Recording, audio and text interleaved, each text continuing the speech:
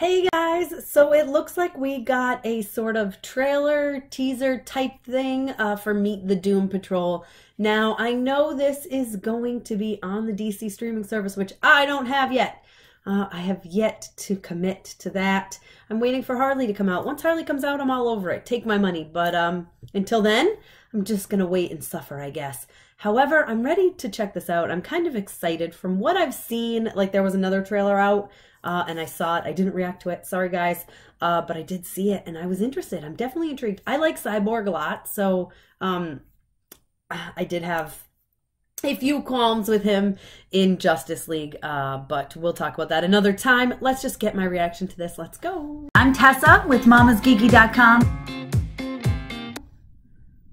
This is the story of five fearless superheroes. Justice League 2020. More TV superheroes, just what the world needs. photo printer in there somewhere? no. Is it your butt? I bet it's his butt. Are we really the best people to hunt a supervillain? Hell no. Uh, no. February 15th. That's it. That's all we got. Ah!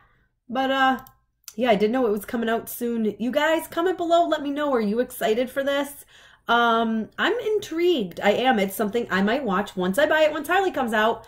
Uh, I'm sure this stuff will still be available on there and I can go back and watch it, right? So you guys, as you watch it, comment and let me know if it's good. Don't forget to subscribe to my channel. Be sure to give me a thumbs up and thanks for watching.